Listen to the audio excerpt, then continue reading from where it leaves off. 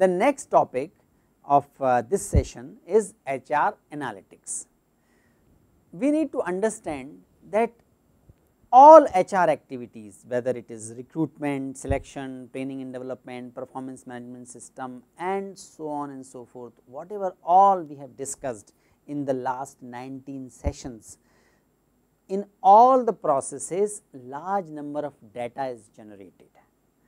If there are mechanisms, if the data quality is good, if we know the interconnections of the different factors and if we are able to connect the success factors with the appropriate data, we can get large number of insights. We can get many insights about HR function and about the business success. So, data is the raw and unorganized information that is keep developing, keep uh, uh, getting generated in all HR systems and processes.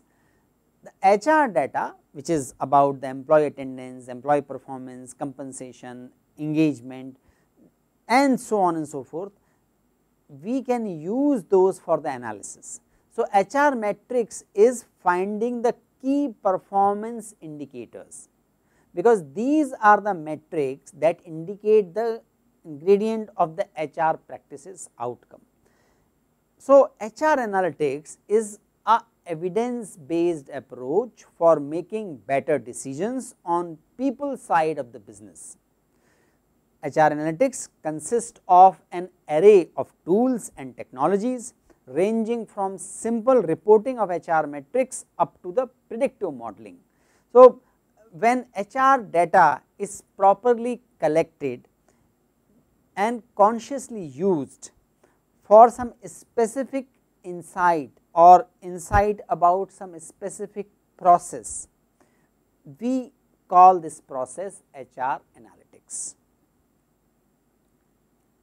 There can be various types of data and uh, these are these can be broadly divided into the uh, lagging indicators and leading indicators, descriptive HR metrics and prescriptive HR metrics. Descriptive HR metrics are those which are based on the past data and prescriptive HR metrics are those which also takes into account of the future projections of the data.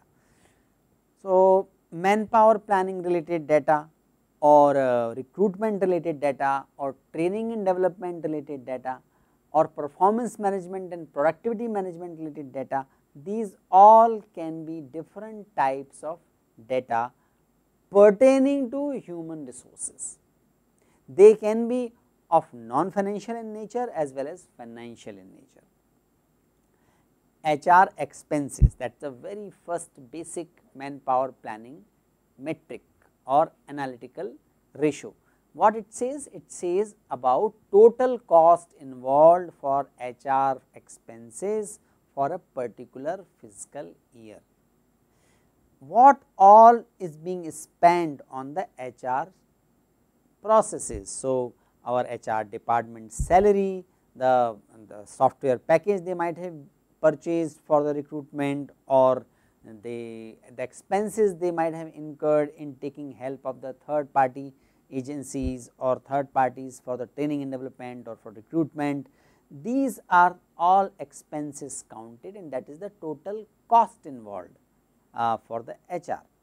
HR expenses per employee, we can look at the ratio of HR expenses and divide that by per employee uh, of the organization, divided by the number of employees of the organization and that will give us the HR expenses per employee we calculate these data and then we also do the benchmarking, benchmarking with the companies within the industry as well as outside of the industry and that gives us idea how we are doing it. Are the most successful companies having very high of these metrics or they are operating at much lower level of those metrics. These are the starting points of reflection. Then uh, next level of reflection is that okay, we might be uh, uh, spending more, we might be having uh, a matrix which is suggesting that our expenses are more, but it is required because nature of job being done in our organization is of very different kind etc. So, we look at the uh, situations, but first benchmarking is done with the comparable uh, business organizations, comparable organizations or institutions that gives us fair idea how and how the, where how that data can be uh, managed and how that can be maintained. There are so many uh, uh, metrics, I am not going to read all these, all these are being described. Uh, the paper which is from where this list is drawn is also referred here, uh, Pillai and uh, Shivathanu's paper, both uh, are the Pune based academicians and they have collected various types of the HR ratios and they have given the precise definition of uh, these ratios which help us to analyze the HR based data. So, they have given the recruitment related data which is about uh, non financial like yield ratio meaning, efficiency of the each stage in the recruitment process or number of employee who appeared for the interview and selected, recruitment channel resource effectiveness, combination of different resources, which combination is working best. Uh, then there are recruitment related financial data which is recruitment cost, uh, cost per hire, cost per recruitment sources, all these are the data points which can give us the efficiency and effectiveness of the HR function. Training and development related data that can also be of various type, you might remember we discussed Kirkpatrick model or ROI uh, of the training and development uh, function, uh, training outsourcing cost, training cost per employee, all these data points are there, all these ratios are there which can be calculated if company collects data of their HR system, HR process implementation on their employees and that is the beginning of having a sound HR analytics. Next stage is analyzing that data. So, there is another set of data uh, about performance management or productivity management, how the performance of the employees uh, is, is, is, being is, is, showing up in the organizational data. Uh, employee performance indicators like number of units produced, number of parcels delivered, if company if, if it is a delivery company or a courier company, number of calls if it is a uh, per day or per unit of time if that if the organization is call center like that these performance and productivity management data is are collected. Employer branding that can also be assessed through number of followers on social media, employee engagement index or number of applicant per role. If more number of people are uh, applying for the job in my organization, I am supposed that organization is supposed to have a strong employer branding. You might recall the employer branding we discussed in the previous class. Uh, like these so many indicators are there which can be very useful and insightful to look at the efficiency and effectiveness of HR function. Employee relations and employee wellness that can also be a very important points of HR analytics. Then there are whole set of predictive HR metrics.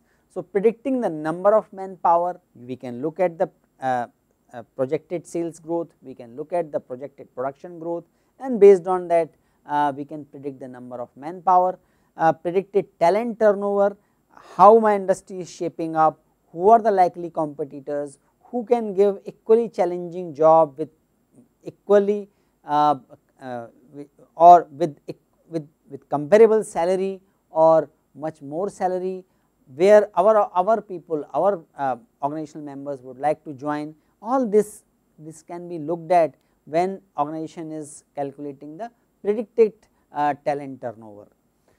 Similarly, financial metrics are there which is about predicted manpower cost, predicted cost per hire, estimated employer productivity, predicted employee performance, so on and so forth list you can see is almost limitless.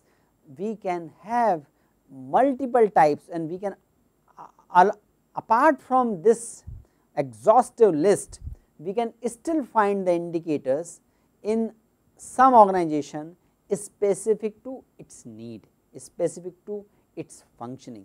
So, knowing this is very very important, but that is only the first step to use HR analytics in the right sense.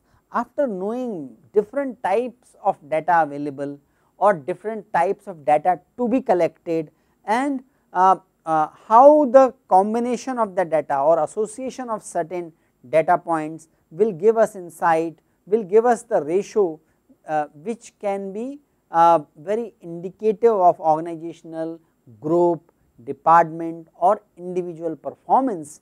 When all this is uh, understood, the next step is which one we would like to follow.